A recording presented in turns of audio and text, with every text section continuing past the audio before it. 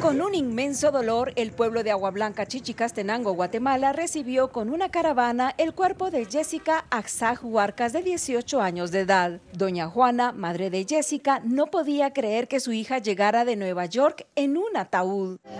El padre de Jessica, don Obispo, recibió a su hija lamentando que sus sueños se convirtieron en muerte. ¡Jessica! Porque no aguanto, eso sí que no aguanto, mi hijo.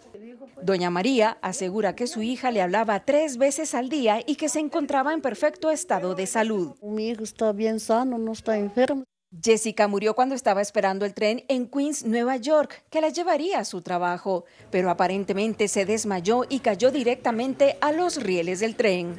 El video que vimos como se desmayó sola y se cayó, pero no sé, casi nosotros no podemos decir que eso es problema de salud o pasó algo, no sé, solo Dios sabrá y solo ella sabrá cómo fue su, su muerte.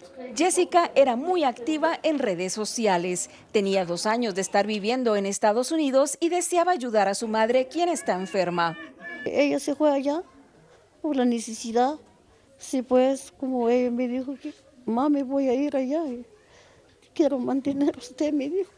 Lastimosamente no era así. Las patojas se van por su sueño, ayudar a su mamá, a su papá.